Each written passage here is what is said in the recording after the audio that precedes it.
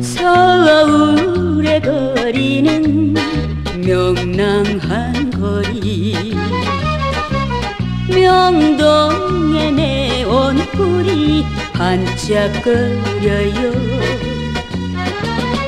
아가 씨 치마자락 봄바람에 날리며 그 차집 저 멀리서 손풍금 소리가 들려와요.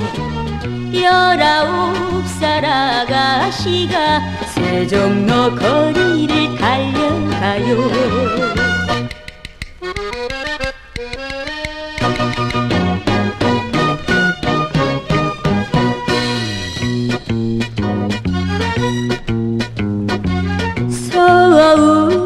거리는 명랑한 거리.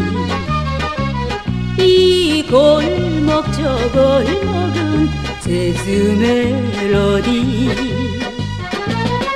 고요한 밤거리에 조각달이 비치는 아파트 2층에서 사랑의 노